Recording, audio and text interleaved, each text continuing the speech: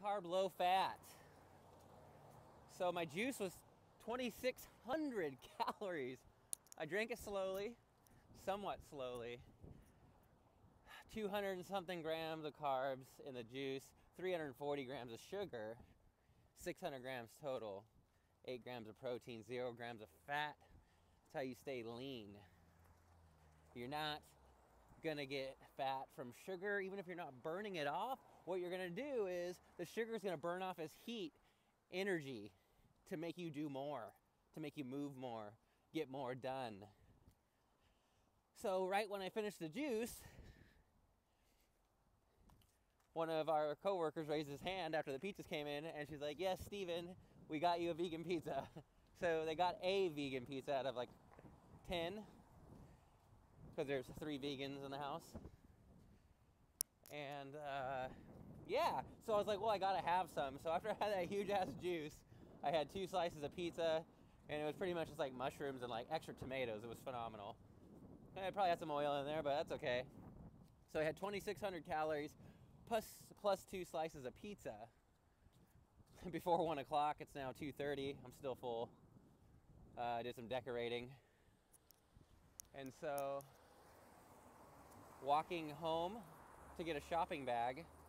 Then I'm gonna walk all the way back a mile to Safeway so I can buy some zucchini and a couple other items so I can make this fully raw pasta dish tonight. Not a ton of calories, but lots of great nutrients and flavors. Since I've already had about 3,000 calories, I don't. I'm gonna be good, and I've almost had 750 grams of carbs. So even if I go a little under 750, like it'll be okay because like two days ago I had 1100, another day I had 1100, and I had like about like 700 something, like eight, or I'm sorry, like 900 something carbs like yesterday. I'll be fine.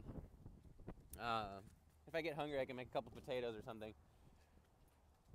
But low fat is the key. Low protein.